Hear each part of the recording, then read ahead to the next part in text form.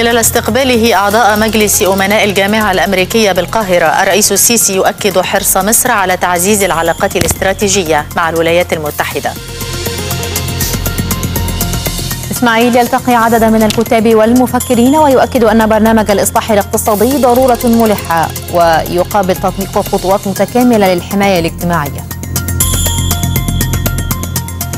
القوات العراقية تواصل تقدمها نحو الموصل لتحريرها من داعش. وعسكريون أمريكيون يؤكدون أن قادة التنظيم الإرهابي يغادرون المدينة. الجيش الروسي يعلن أن الهدنة الإنسانية التي ستبدأ غدا في حلب ستستمر 11 ساعة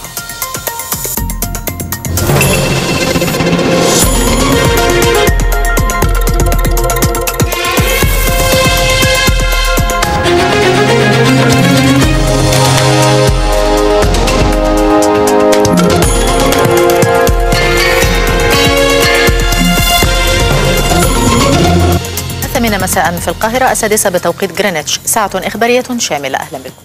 أهلا بكم ومن عناوين الأنباء إلى تفاصيلها. أكد الرئيس عبد الفتاح السيسي حرص مصر على العلاقات الاستراتيجية التي تجمعها بالولايات المتحدة الأمريكية مشيرا إلى أهمية استمرار هذه العلاقات والمضي قدما نحو تعزيزها. جاء ذلك خلال استقبال الرئيس السيسي اليوم أعضاء مجلس أمناء الجامعة الأمريكية بالقاهرة برئاسة ريتشارد بارتلت وبحضور الدكتور أشرف الشيحي وزير التعليم العالي والبحث العلمي والدكتور عمرو عزت سلامة ممثل الحكومة المصرية في مجلس الأمناء. وصرح المتحدث الرسمي باسم رئاسة الجمهورية السفير علاء يوسف أن الرئيس السيسي أشاد بالدور الذي تقوم به الجامعة في خدمة التعليم والمجتمع في مصر وما تمثله من جسر مهم يساهم في التقريب بين الشعبين المصري والأمريكي.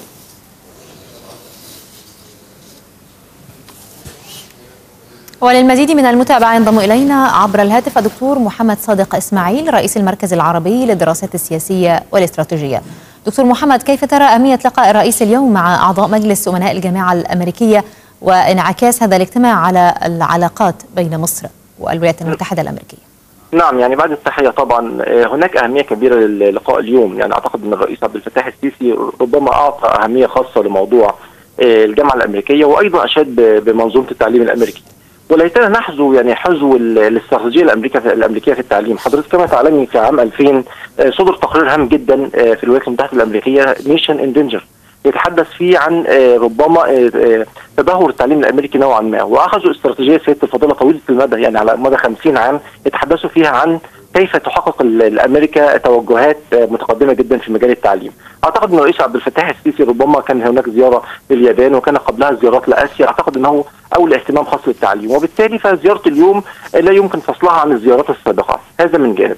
من جانب آخر طبعا الرئيس عبد الفتاح السيسي أكد على العلاقات المصرية الأمريكية ومثلا هذه العلاقات يعني ربما كنا في في العهود السابقة نتحدث عن شراكة استراتيجية وحيدة بين مصر والولايات المتحدة الأمريكية، الآن هناك عدة شراكات استراتيجية سواء بين مصر والولايات المتحدة الأمريكية من جانب أو بين مصر ودول أخرى، وبالتالي الرئيس عبد الفتاح السيسي في سياسته الخارجية أولى اهتمام خاص بموضوع تعدد الحلفاء الاستراتيجيين، طبعا الولايات المتحدة الأمريكية لا يمكن أن تستغني عن مصر، تعلم أن مصر هي ركيزة الاستقرار في المنطقة العربية. سواء شئنا أم أبينا يعني أو شئوا أم أبوا، وبالتالي أعتقد أن اللقاء اليوم ركز على هذه الأهمية، ركز أيضا أن الرئيس عبد الفتاح السيسي التقى بالمرشحين لرئاسة الجمهورية سواء ترامب أو كلينتون، وأعتقد أن هناك تفاهمات كثيرة في وجهات النظر بين الجانبين في هذا الصدد، اجمالا أرى أن اللقاء اليوم كان هام جدا سواء من الناحية التعليمية أو حتى من ناحية العلاقات الاستراتيجية بين مصر والولايات المتحدة الأمريكية. أشكرك دكتور محمد صادق إسماعيل رئيس المركز العربي للدراسات السياسية والاستراتيجية. اجتمع المهندس شريف إسماعيل رئيس مجلس الوزراء بمقر المجلس اليوم مع عدد من الكتاب والمفكرين حيث استعرض معهم جهود الحكومة في مختلف القطاعات وبرنامج الإصلاح الاقتصادي الجاري تنفيذه حاليا. من جانب أكد رئيس الوزراء أن الحكومة عازمة على المضي في تنفيذ برنامج الإصلاح الاقتصادي لتحسين مؤشرات النمو وضمان مستقبل أفضل للأجيال القادمة مشيرا إلى أن هذا البرنامج لم يعد في الإمكان تأخيره أكثر من ذلك أو ترحيله حتى لا تتفاقم المشكلات. وأشار إسماعيل إلى أن استمرار عجز الموازنة دون مواجهة حقيقية. إلى جانب الاقتراض سيؤثر بطبيعة الحال على ارتفاع نسبة التضخم لا سيما وأن أكثر من ثلثي الموازنة الحالية يوجه إلى بنود الأجور وخدمة الدين والدعم ومن ثم لن يتبقى المبلغ الكافي للإنفاق على الخدمات من جهة أخرى عقد المهندس شريف إسماعيل اليوم اجتماعا لبحث موقف تنفيذ المشروعات بمحافظة أسوان وذلك بحضور وزراء الشباب والإسكان والتنمية المحلية والتربية والتعليم والثقافة ومحافظ أسوان. وفي مستهل اللقاء أكد إسماعيل أن الاجتماع يأتي في إطار حرص الحكومة على المتابعة المستمرة للمشروعات الجاري تنفيذها في مختلف المحافظات بما يضمن الانتهاء منها وفق البرامج الزمنية المقررة لها لتساهم في تحقيق الأهداف المرجوة منها وفي مقدمتها الارتقاء بمستوى الخدمات المقدمة للمواطنين وتحسين جودة الحياة وبخاصة في محافظة الصعيد والمناطق الأكثر احتياجاً. وعن أهم ما خرجت به اجتماعات مجلس الوزراء اليوم ينضم إلينا من المجلس مفادنا إلى هناك أحمد أبو الحسن. أحمد الجديد لديك حول هذه الاجتماعات التي شهدها مجلس الوزراء اليوم. يعني بالفعل هناك اجتماعات نعم. عدة كانت للمهندس شريف إسماعيل رئيس الوزراء. أهم هذه الاجتماعات لقاءه مع الكتاب والمثقفين والصحفيين. في خلال هذا اللقاء كانت هناك العديد من التصريحات للسيد رئيس الوزراء منها أن السيد رئيس الوزراء أشار إلى أن ما تحقق من خطوات إيجابية في إطار تنفيذ المشروعات القومية والتي ساهمت في خفض البطالة هذا العام إلى 12.5% مقارنة ب 13.5% خلال العامين الماضيين. منوها في هذا الإطار إلى إقامة المناطق الاقتصادية بمحور قناة السويس والمثلث الذهبي ومشروعات الإسكان الاجتماعي. يعني ذكر هناك 600 ألف وحدة ورصد أيضا 14 مليار جنيه لتطوير العشوائيات. إلى جانب مشروعات تطوير شبكة الطرق وغيرها من المشروعات الأخرى بالإضافة إلى مشروع المليون ونصف المليون فدان الذي تم الإعلان عن الطرح الأول له بواقع 500 ألف فدان لتخصيصها لصغار المزارعين والشباب والمستثمرين. هناك أيضا تأكيد من السيد رئيس الوزراء أن مصر تتحرك إلى الأمام في كافة المجالات رغم التحديات والظروف الصعبة وأيضا أشار إلى أن المشروعات التي يتم تنفيذها حاليا لربط سيناء بالوادي وفي مقدمتها مشروعات الأنفاق الضخمة وشدد أيضا على أن سيناء لن تكون معزولة بعد اليوم. هناك أيضا تأكيدات من السيد رئيس الوزراء إلى أن موضوع قرض صندوق النقد الدولي يعني هذا البرنامج المقدم للحصول على القرض هو مصري بنسبة 100% وأنه يعد بمثابة شهادة شهادة ثقة دولية في الاقتصاد المصري تساعد على التعامل مع جهات التمويل والمستثمرين. خلال أيضا تعقيبه على أسئلة واستفسارات بعض الكتاب والمفكرين أكد السيد رئيس الوزراء أن الحكومة تدرس التوجه للدعم النقدي طريقة أن يتم بالتدريج مشيرا فيما يتعلق بالصناديق الخاصة أنه تم مخاطبة وزارة المالية لإجراء دراسة متعمقة لهذه الصناديق نعم. لضمها آه. إلى الخزانة نعم أشكرك جزيلا أحمد أبو الحسن على هذه المتابعة نفذ مركز البحث والإنقاذ الرئيسي للقوات المسلحة التجربة العملية مصر ثلاثة والتي تتمثل في إنقاذ ركاب مركب هجرة غير شرعية بعد تعرضها للغرق قبالة سواحل بورسعيد شاركت في التجربة وحدة من القوات المسلحة والعديد من الوزارات والهيئات والأجهزة المعنية بالدولة وذلك في مسعى من شأنه تأكيد قدرة الأجهزة المعنية بالدولة على التخطيط والتنسيق والعمل المشترك لتأمين الجبهة الداخلية ومواجهة الكوارث والحوادث الجسيمة. تهدف التجربة. مصر ثلاثة إلى التأكد من قدرة وجاهزية مراكز ومنظومات استقبال إشارات الاستغاثة. ورد الفعل السريع لعناصر البحث والإنقاذ التابعة للقوات المسلحة من القوات البحرية والجوية والعناصر المعاونة من الجهات المدنية المعنية بعمليات الإنقاذ وقدرتها على التعامل مع الكوارث والحوادث المختلفة. وفي قاعدة اللواء محمد نجيب بنطاق المنطقة الشمالية العسكرية. تتواصل فعاليات التدريب المصري الروسي المشترك حماة الصداقة 2016 الذي تنفذه عناصر من وحدات المظلات المصرية وقوات الإنزال الجوي الروسية والذي يستمر حتى السادس والعشرين من أكتوبر الجاري. وشهدت الأيام الماضية تنظيم العديد من الأنشطة بهدف توحيد المفاهيم العسكرية وتبادل الخبرات التدريبية لمهام الوحدات الخاصة المتنوعة. كما تم تنفيذ العديد من البيانات العملية وعدد من الرمايات بمختلف الأسلحة نهارا وليلا وسط أجواء اتسمت بالتنافس والروح المعنوية العالية. بحثت وزيرة التعاون الدولي سحر نصر مع ممثل صندوق الأمم المتحدة للسكان في مصر زيادة التعاون بين مصر والصندوق خلال الفترة المقبلة خاصة في مجال مواجهة الزيادة السكانية. جاء ذلك خلال لقاء الوزيرة بممثل الصندوق في مصر ألكسندر بوتيروس الذي أوضح أن الصندوق يعمل على تدعيم حق المرأة والرجل والطفل في التمتع بحياة تتسم بالصحة وتكافؤ الفرص. مشيرا إلى اعتزامهم دعم مصر في استخدام البيانات السكانية اللازمة لسياسة برامج مكافحة الفقر ودعم التنمية المستدامة. بينما أكدت وزيرة التعاون الدولي دعمها لحملة التاء المربوطة سر قوتك المعنية بدعم قضايا المرأة السياسية والثقافية والاجتماعية وتوعية الفتيات وتثقيفهن بكيفية التصرف حال تعرضهن للتحرش على مستوى المحافظات. استقبل سامح شكري وزير الخارجية فيليبو جراندي المفوضة السامية للأمم المتحدة لشؤون اللاجئين وصرح المتحدث باسم وزارة الخارجية المستشار أحمد أبو زيد أن المسؤول الأممي أعرب عن تفهمه لما تواجهه الحكومة المصرية من تحديات من أجل استقبال الأعداد المتزايدة من اللاجئين الأفارقة والعرب مشيرا إلى تطلعه للتباحث حول سبل ارتقاء بآليات التعاون بين مصر والأمم المتحدة حول هذا الملف. وأوضح أبو زيد أن وزير الخارجية أكد حرص مصر على تعزيز التعاون مع الأطراف المعنية كافة لبحث سبل التعامل مع تصاعد ظاهرة اللاجئين منوها بأهمية العمل على توفير موارد إضافية وغير تقليدية للدول المستقبلة للاجئين. أكد الأمين العام لجامعة الدول العربية أحمد أبو غيط أهمية الدور الذي يمكن أن تلعبه المفوضية السامية للأمم المتحدة لشؤون اللاجئين في التواصل مع الأطراف الخارجية من أجل ضمان أن يلقى اللاجئون العرب معاملة لائقة في الدول الأجنبية التي يقصدونها. جاء ذلك خلال لقاء أبو الغيط مع المفوض السامي للأمم المتحدة لشؤون اللاجئين.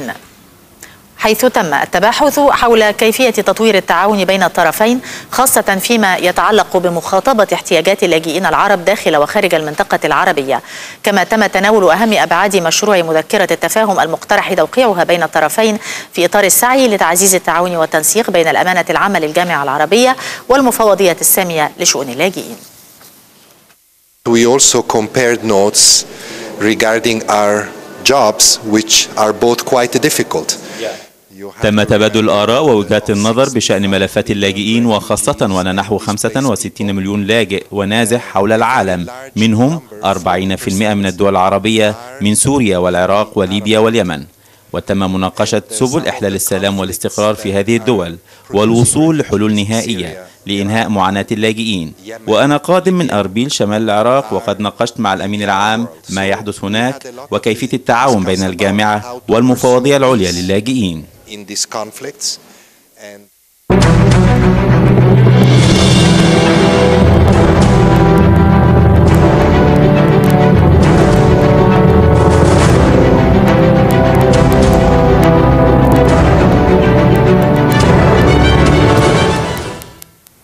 تشارك مصر في الاجتماع الوزاري الدولي الذي يعقد غدا بالعاصمة الفرنسية باريس حول الموصل في ضوء المعارك الجارية لتحرير الموصل من قبضة تنظيم داعش الإرهابي.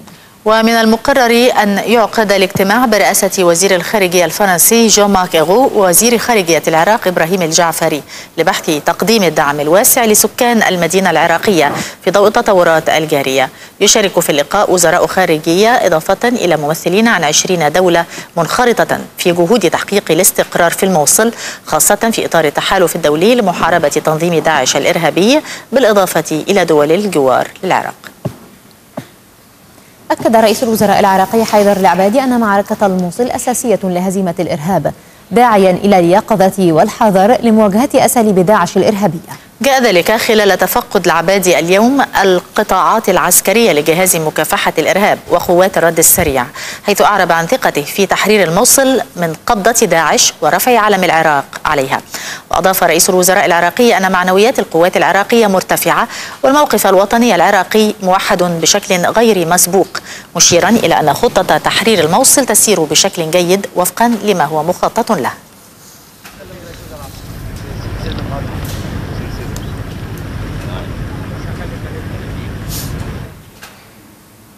أعلن الجنرال الأمريكي من التحالف الدولي ضد داعش أن قادة من التنظيم الإرهابي بدأوا يغادرون مدينة الموصل العراقية تحت وطأة ضربات القوات العراقية وقوات التحالف الدولي. وقال الجنرال جاري فولسكي المسؤول في التحالف الدولي عبر الدائرة التلفزيونية المغلقة من بغداد إن هناك حركة لمسؤولين ومقاتلين من تنظيم داعش الإرهابي خارج الموصل مشيرا إلى أن مقاتلين أجانب هم الذين سيبقون في المدينة. للقتال بعد تخلي قادتهم عنهم يأتي هذا بينما تمكنت القوات العراقية المشتركة اليوم من السيطرة على ثلاث قرى جنوب الساحل الأيسر من مدينة الموصل مركز محافظة نينوى شمالي العراق في إطار العملية العسكرية التي تشنها لاستعادة المدينة العراقية من قبضة تنظيم داعش الإرهابي. يوما بعد يوم تحرز عملية تحرير الموصل من قبضة تنظيم داعش الإرهابي تقدما ملموسا. فالعملية التي بدأت الاثنين الماضي تمكنت خلالها القوات العراقية المشتركة من السيطرة على ثلاث قرى في جنوب الساحل الأيسر من مدينة الموصل مركز محافظة نينوى شمال العراق. وذلك بمشاركة قوات الرد السريع والشرطة الاتحادية وإسناد من قوات الحشد الشعبي.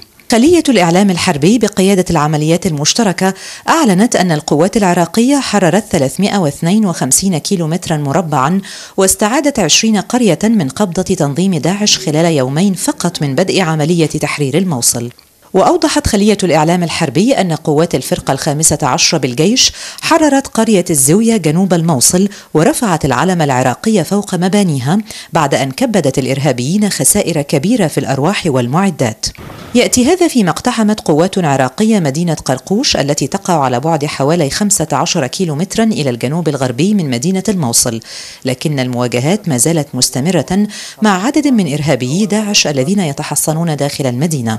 بالتزامن صدت قوات البشمركة الكردية بإسناد طيران التحالف الدولي هجوما لتنظيم داعش الإرهابي في قضاء سنغار بمحافظة نينوى شمال غربي العراق.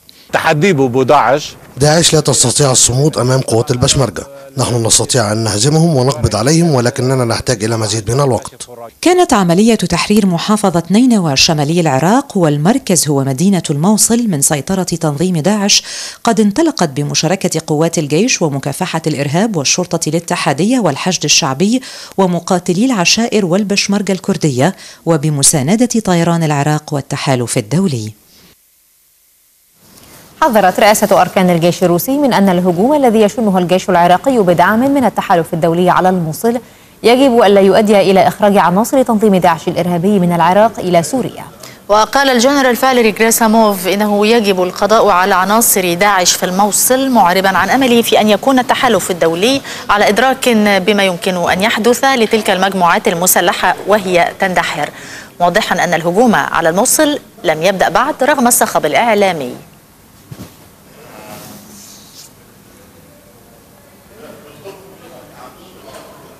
وللمزيد من المتابعة انضم إلينا عبر الهاتف من العاصمة العراقية بغداد الدكتور طارق حرب المحلل السياسي. دكتور طارق كيف تتابع سير خطى تحرير الموصل حتى الآن؟ شكرا لك ومشاهديك الكرام. كما ورد في الأخبار وكما ذكرت في قناتكم المؤخرة نعم. أن هنالك اتجاه عام سواء كان داخلي أو خارجي لتأييد العراق فبعد أن اتصل فخامة رئيس جمهورية مصر العربية أمس بالحكومة العراقية اتصل اليوم الرئيس الروسي كما أن هناك مؤتمر يعقد في فرنسا لغرض متابعة الأمور الخاصة بالنازحين الموصل كل القطاعات العسكرية الآن كلها بدأت بعمليات تقدم لكن تقدم تقدم واعي وليس التقدم السريع. يعني بإمكانها أن تسير بأسرع ما هو موجود حاليا لكن تريد أن تكتشف في أي مكان يمكن أن تكون هنالك صعوبة. إلى الآن كل المناطق يعني مثلا القضاء الحمدانية اللي هو في التقرير وهو قضاء قرقوش وليس قرقوش قرقوش 15 كيلو يبعد عن مركز مدينة الموصل يعني عن قلب مدينة الموصل وليس فالمناطق كلها كلها محاطة. الحشد الشعبي أخذ مناطق الخارجيه بقطع الطريق أمام داعش عند هروبه أو دخوله إلى تل عفر أو سنجار. الجيش جيش مركة العشائر العربية المتطوعين فكل مشارك بذلك. ما تقدم ما حصل من نتائج لا يمكن أن تكون محل رؤيا قبل يومين أو قبل ثلاث أيام. يعني كنا نتوقع أن تكون هناك معركه كبيرة على الأقل في بداية التقدم. لكن إلى الآن على الرغم من مضي بحدود ثلاث أيام لم نجد أي معركة خاضها. داعش رد القطاعات العراقية المتقدمة. قبل إن الأخبار تؤكد وتثبت واقعه وهو قاده داعش ليس بسبب الضربات الجوية كما قلت. الضربات الجوية كانت موجودة واستمرت الان لكن بسبب أنهم آه، أيقنوا بنو أجلهم وأيقنوا أن الجيش العراقي القوات العراقية ستقبض عليهم داخل لذلك يحاولوا هم مستقلين الفترة الحاليه كل في كل آه، آه، مقاطع العمليات. كل مقاطع العمليات كان هناك تقدم. نعم صحيح أن التقدم بطيء لكن قلنا التقدم بطيء لمعرفة رده فعل داعش نعم. وكذلك داعش يميل إلى مسألة المفخات والمتفجرات وهذا يمكن أن يكون عاقل. لكن في جميع الأحوال لا يمكن أن نقبل ما يرد وسائل الإعلام من أن المعركة معقدة كما وصلت أو معركة كبيرة إلى الآن لم تعطي القطاعات العراقية شيء أن يذكر من الضحايا، يعني لم يسترشد ذلك العدد اللي ممكن أن يكون على معركة بهذا بهذه القوة وعلى متفجرات ومنفخات والغام أجاد كما يقال داعش في صناعتها وعملها لأجل ايقاع آه، القتل ايقاع الضرر للقطاعات العراقية. نعم. كلها جيدة اتفاق سياسي ما بين السياسي نعم. نعم أشكرك. أشكرك دكتور طارق حرب المحلل السياسي. كنت معنا عبر الهاتف. أعلن الجيش الروسي اليوم تمديد هدنة إنسانية في مدينة حلب السورية لثلاث ساعات حتى الساعة السابعة مساء بالتوقيت المحلي غدا الموافق العشرين من أكتوبر. وأوضح المسؤول بالجيش الروسي سيرجي رودسكوي أن بلاده أوقفت الضربات الجوية في حلب أمس. كما نقلت وسائل أعلام رسمية أن الجيش السوري سحب قواته للسماح للمعارضة المسلحة بمغادرة شرق حلب عبر ممرين محددين. أنه ملتزم بوقف مؤقت لإطلاق النار لتخفيف الوضع الإنساني في حلب. يعقد قادة فرنسا وألمانيا وروسيا اجتماع عمل في العاصمة الألمانية برلين لبحث الأزمة السورية. من جهته وعد الرئيس الفرنسي فرانسوا أولوند ببذل كل الجهود بالتعاون مع المستشارة الألمانية أنجلا ميركل لتمديد الهدنة في مدينة حلب. وقال أولوند خلال لقائه بعثة من متطوع الدفاع المدني السوري المعروفة بالقبعة البيضاء أن باريس ستبذل كل ما بوسعها من ضغوط وخاصة على الجهات الداعمة للنظام السوري لكي يمكن تمديد الهدنة. ويسعى أولوند وميركل خلال قمة برلين إلى إقناع الرئيس الروسي فلاديمير بوتين بضرورة التوصل إلى وقف إطلاق نار دائم في حلب وإيصال المساعدات الإنسانية. في السياق ذاته يعقد قادة الاتحاد الأوروبي غدا في بروكسل قمة يتوقع بأن تدين بشدة مشاركة روسيا في عمليات قصف الأحياء الشرقية لمدينة حلب السورية. ومن المقرر أن يطالب مشروع الاتفاق الذي سيصدر عن القادة الأوروبيين بوقف فوري للأعمال القتالية في حلب والسماح بإيصال المساعدة الإنسانية للمدنيين السوريين. فضلا عن إدانة واضحة للهجمة التي يشنها النظام السوري وحلفاؤه وبخاصة روسيا على المدنيين في حلب. حررت قوات سوريا الديمقراطية الذي تقوده القوات الكردية خمس قرى بريف حلب الشمالي من قبضة تنظيم داعش الإرهابية. هذا وتستمر الاشتباكات بين الطرفين في مناطق أخرى. وقالت مصادر إن المعارك الدائرة بين مسلح تنظيم داعش الإرهابي والمعارضة السورية المدعومة من أنقرة في المنطقة. وصلت إلى مشارف القرى الواقعة ضمن ريف مدينة الباب التي يسيطر عليها التنظيم. اشتباكات عنيفة تدور بين قوات سوريا الديمقراطية وعناصر تنظيم داعش الإرهابي في ريف مارع بشمال حلب. أسفرت عن مقتل عشرة من عناصر التنظيم بينما تمكنت فصائل المعارضة من التقدم نحو منطقة غرناطة ومحيطها وتل مضيف.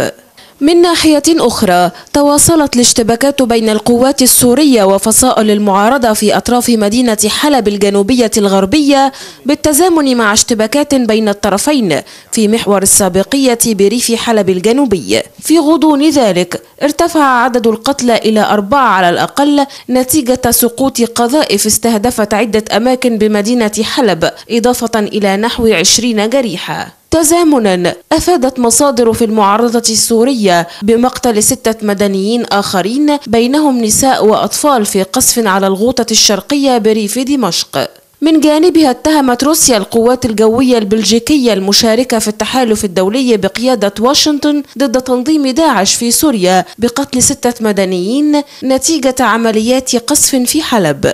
كانت موسكو قد أعلنت وقف الغارات الجوية الروسية والسورية على حلب لإتاحة الفرصة أمام إجلاء المدنيين من الأحياء الخاضعة لسيطرة الفصائل المقاتلة. قال الرئيس التركي رجب طيب أردوغان إن ما لا يقل عن مليون سوري قد يفرون إلى تركيا إذا ما بدأ النزوح من مدينة حلب التي تحاصر القوات السورية والروسية قطاع الشرقي الخاضعة لسيطرة المعارضة. وأضاف أردوغان أنه بحث مع الرئيس الروسي فلاديمير بوتين اتفاقا بشأن إخراج جماعة جبهة النصرة من حلب تمهيدا لإقرار السلام هناك.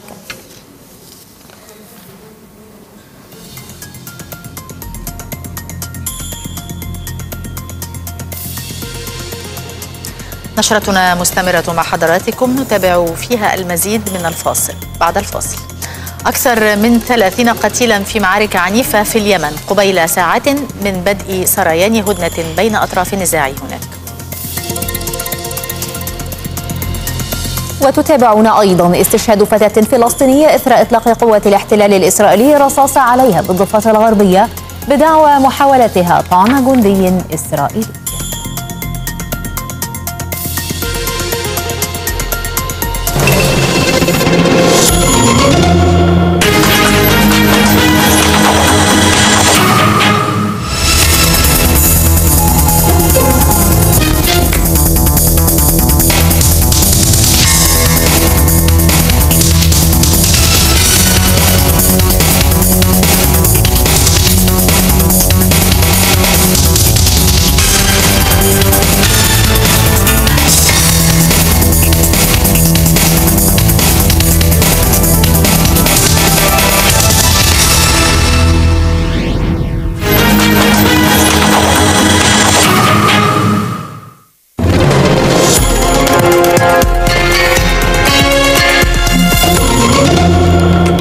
ونتحول معكم الآن لمتابعة أبرز الأنباء الاقتصادية في بانوراما.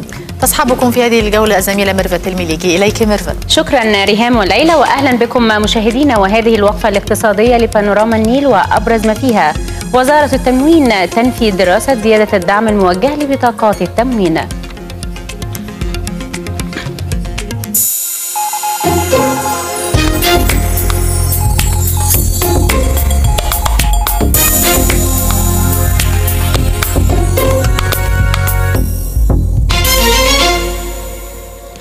أهلا بكم إلى التفاصيل حيث نفت وزارة التموين والتجارة الداخلية ما تردد حول دراسة الحكومة زيادة الدعم الموجه لبطاقات التموين. وأكد محمد عسكر المتحدث الرسمي لوزارة التموين أن ما أعلنه وزير التموين محمد علي مصلحي هو أن الإصلاح الاقتصادي يجب أن يتحمله القادر حيث أنه سيتم التعاون مع شركات النظم ووزارات الداخلية والتنمية المحلية والتضامن والتخطيط لفرز البطاقات التموينية من الإزدواجية والمتوفرين والمسافرين للخارج. يشار إلى أن إجمالي عدد البطاقات التموينية يبلغ حوالي 21 مليون بطاقة تموينية يستفيد منها 71 مليون مواطن. عقد بمقر هيئة الرقابة الإدارية اجتماعا الأربعاء لمناقشة أهم التحديات والمعوقات التي تعيق عجلة الاستثمار المحلي والأجنبي وتم الاتفاق على حزمة من الحوافز والضمانات والإصلاحات بالإضافة إلى تبسيط الإجراءات من خلال مشروع جديد مقترح للاستثمار. الاجتماع حضره وزير الاتصالات ورئيس هيئة الرقابة الإدارية وبعض أعضاء مجلس النواب وعدد من رجال الأعمال والمستثمرين في كافة المجالات. من جانبها أكدت وزيرة الاستثمار داليا خورشيد أن مصر انتهت من إعداد مسودة قانون جديد للاستثمار يركز على تنويع الحوافز والضمانات للمستثمرين وسيتم إرسال مشروع القانون لمجلس الوزراء الشهر المقبل.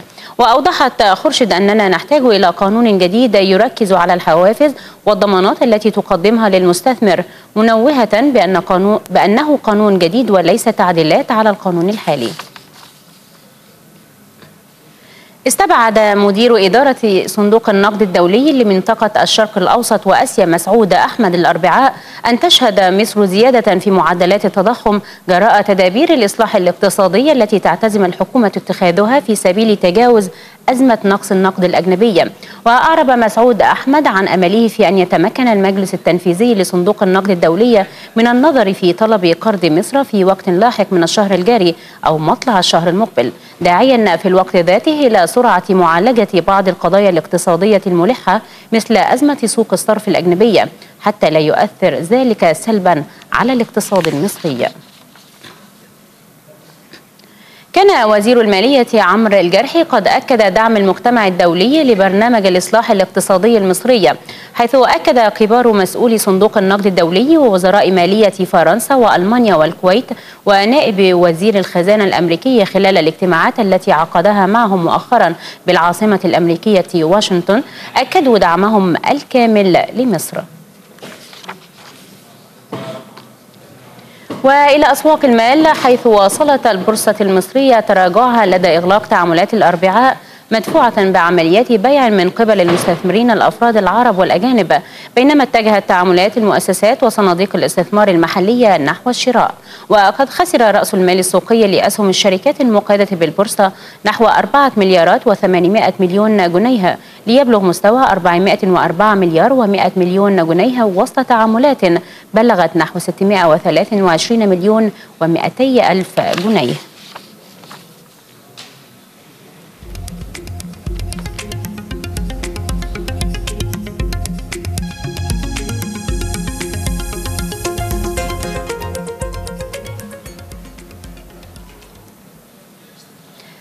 أكد السفير عمرو حلمي سفير مصر لدى إيطاليا أهمية دعم العلاقات بين مصر وإيطاليا في كافة أوجه ومجالات التعاون المشترك بينهما. وأشار السفير إلى أن اكتشاف شركة الشركة الإيطالية لحقل الغاز الطبيعي في المياه الإقليمية المصرية قد انعكس على خريطة الطاقة في البحر المتوسط. وتوقع السفير عمرو حلمي خلال لقائه بأعضاء الدبلوماسية الشعبية المصرية والتي تزور إيطاليا حاليا برئاسة أحمد الفضالي رئيس تيار الاستقلال أكد أنها تشهد الأسابيع القادمة تدفقات أعداد كبيرة للسائحين الإيطاليين في زيارات لمصر. توقع صندوق النقد الدولي انخفاض متوسط النمو غير النفطي لاقتصادات دول مجلس التعاون الخليجي إلى 1.75% في 2016 مع تجديد السياسة المالية العامة وتناقص السيولة في القطاع المالي. وذلك مقارنة مع نمو, نمو بنسبة 3.75% العام الماضي. وأوضح الصندوق أن هبوط أسعار النفط والصراعات المستمرة يشكلان عبئا على آفاق الاقتصاد في منطقة الشرق الأوسط وشمال أفريقيا وأفغانستان وباكستان. مشيرا إلى أن أجواء عدم اليقين الناجمة عن الصراعات تسببت في ضعف الثقة. تعتزم المملكة العربية السعودية جمع ما يصل إلى 17 مليار دولار ونصف المليار من السندات بالدولار الأمريكي في أول اقتراض للمملكة من السوق الدولية. كان الإعلام الرسمي السعودي قد أفاد في وقت سابق من هذا الشهر أن وزارة المالية أنجزت إنشاء برنامج دولي لإصدار أدوات الدين وقامت بتعيين عدد من البنوك الاستثمارية العالمية والمحلية بهدف تنسيق سلسلة من الاجتماعات مع مستثمري أدوات الدين وسجلت المملكة عام 2015 عجزا ماليا قياسيا بلغ نحو 98 مليار دولار وتوقعت عجزا إضافيا بنحو 87 مليارا السنة الجارية. وذلك في ظل انخفاض أسعار النفط منذ منتصف عام 2014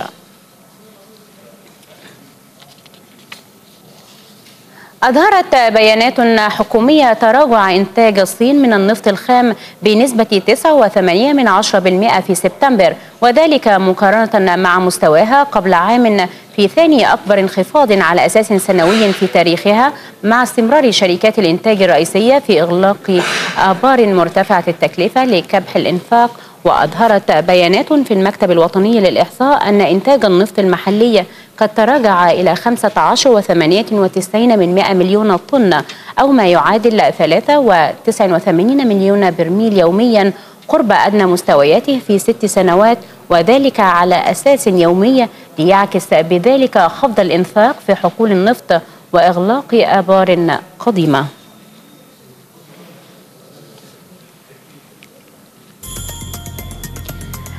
نهاية هذه الوقفة الاقتصادية وعودة لزملاء لاستكمال ما تبقى من بانوراما النيل. إليكم شكرا لك ميرفت. إلى تذكرة بأبرز عناويننا. خلال استقباله أعضاء مجلس أمناء الجامعة الأمريكية بالقاهرة رئيس السيسي يؤكد حرص مصر على تعزيز العلاقات الاستراتيجية مع الولايات المتحدة. إسماعيل يلتقي عددا من الكتاب والمفكرين ويؤكد أن برنامج الإصلاح الاقتصادي ضرورة ملحة ويقبل تطبيق خطوات متكاملة للحماية الاجتماعية. القوات العراقية تواصل تقدمها نحو الموصل لتحريرها من داعش وعسكريون أمريكيون يؤكدون أن قادة التنظيم الإرهابي يغادرون المدينة. الجيش الروسي يعلن أن الهدنة الإنسانية التي ستبدأ غدا في حلب ستستمر 11 ساعة. تفاصيل أكثر. قتل 35 شخصا على الأقل في معارك عنيفة تدور رحاها على جبهات عدة في اليمن قبل ساعات من سريان هدنة لمدة 72 ساعة. قابلة للتجديد أعلنتها الأمم المتحدة. وتركزت المواجهة بين القوات اليمنية والمتمردين الحوثيين وحلفائهم في شمال البلاد لا سيما قرب الحدود مع السعودية وفي المناطق القريبة من العاصمة صنعاء.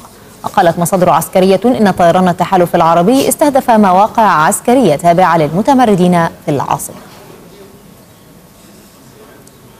استشهدت فتاة فلسطينية تبلغ من العمر 19 عاما إثر إطلاق قوات الاحتلال الإسرائيلي الرصاص عليها قرب حاجز زعتر العسكري جنوب نابلس بالضفة الغربية المحتلة.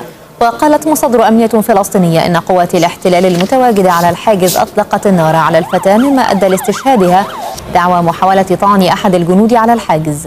وقام الجنود الإسرائيليون بإغلاق الحاجز في أعقاب الحادث ومنعوا مرور المركبات مع وصول تعزيزات عسكرية إلى المكان.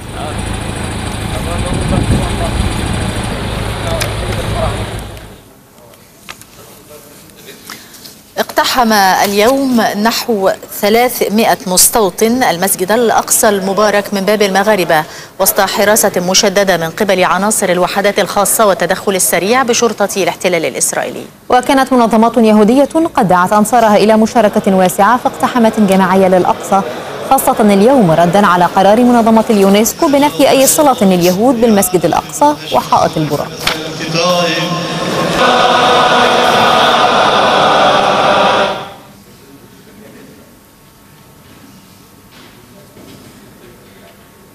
أعلن مسؤول أفغاني أن شخصا يرتدي زي الجيش الأفغاني قتل جنديا ومواطنا يحملان الجنسية الأمريكية اليوم في العاصمة كابول. وذكر مصدر أمني أن منفذ الهجوم لقي مصرعه في وقت لاحق. ولفت المصدر إلى أن الضحايا كانوا يقومون بواجباتهم كجزء من بعثة حلف شمال الأطلسي لتدريب وتقديم المشورة والخدمات لقوات الأمن الأفغانية. موضحا أن الحلف يجري تحقيقا لمعرفة ملابسات الحادث.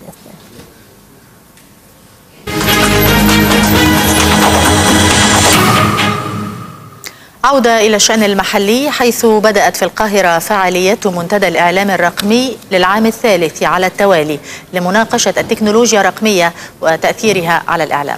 ويهدف المنتدى إلى معرفة الجديد في الإعلام الرقمي ونقل الخبرات من الدول المتقدمة إلى دول العالم الثالث.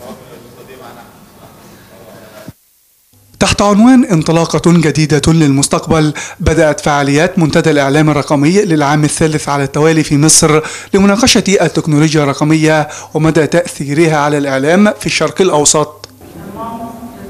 نهدف من خلال هذا المؤتمر إلى نقل كل ما هو جديد في العالم الرقمي من الدول المتقدمة إلى دول العالم الثالث وأن يكون المنتدى منصة لنقل الخبرات في الدول العربية. السنة دي لا الموضوع دخل في تفاصيل أكتر دخل في في في نقاشات أكتر في حاجات فرعية أكتر. كلها بتمثل الإعلام الرقمي ده بيشتغل إزاي. فمبقاش الموضوع بدائي زي ما كنا بنتكلم زمان. كل سنة وكل وكل مؤتمر عن اللي بعده الموضوع بيبقى فيه تفاصيل أكتر ويبقى فيه آه قرارات أكبر. ناقش المنتدى هذا العام مستقبل البرامج التلفزيونية والمنصات الرقمية بحيث توفر محتوى إعلامي يتوافق مع اهتمامات الجمهور والتقدم الكبير الذي وصلت إليه صناعة الإعلام في العالم. التلفزيون أعاد إنتاج نفسه في السنوات الأخيرة. أعاد إنتاج نفسه من ناحية اولا المحتوى لتوفير أفضل محتوى إعلامي ثانيا لناحية التوزيع والديستريبيوشن ثالثا من ناحية المداخيل ورابعا من حيث القدرة على توفير المحتوى عبر منصات متعددة رقمية وتقليدية. أنا سعيد جدا بالمشاركة في هذا المؤتمر وهذه هي المرة الأولى التي أشارك فيها في منتدى الإعلام الرقمي.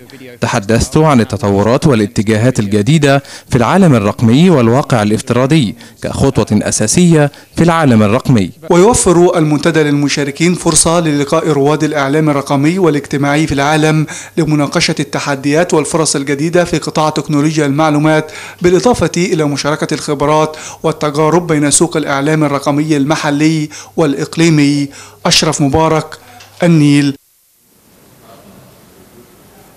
تم التوقيع على مذكرة تفاهم بين المركز الإقليمي للتدريب ونقل التكنولوجيا للدول العربية ومؤسسة شرف للتنمية المستدامة.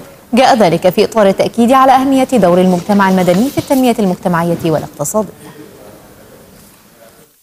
التعاون والتنسيق بين منظمات المجتمع المدني لتقديم الخدمات الثقافية والعلمية الجادة والمتنوعة فضلا عن دفع التنمية الاقتصادية ودعم تنمية المجتمع.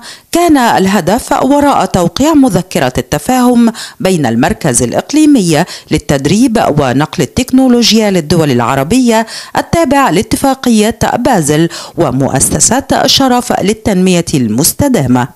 إحنا يعني إيدينا في إيدين بعض بنوصل حاجتين. الحاجة الأولانية إحنا بنحاول نوجد التكنولوجيا الحديثة اللي هي بتتواجد في الخارج وننقلها إلى الدول اللي إحنا بنقدم لها هذه الخدمات بشرط إن تكون هذه التكنولوجيات أصلا ان هاند في متناول إيدينا.